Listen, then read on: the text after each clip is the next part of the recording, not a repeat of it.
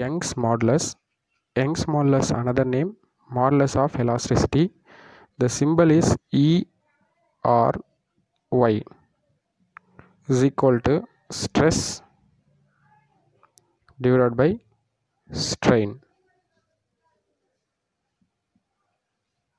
So unit Newton per millimeter square.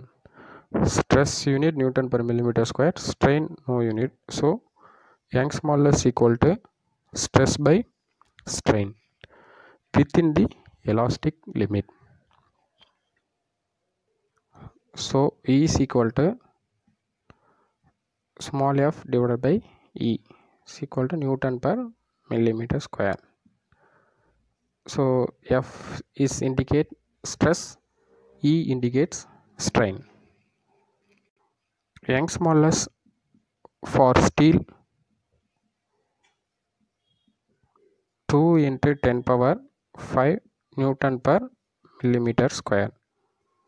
So 2 lakhs Newton per millimeter square is a Young's modulus of steel.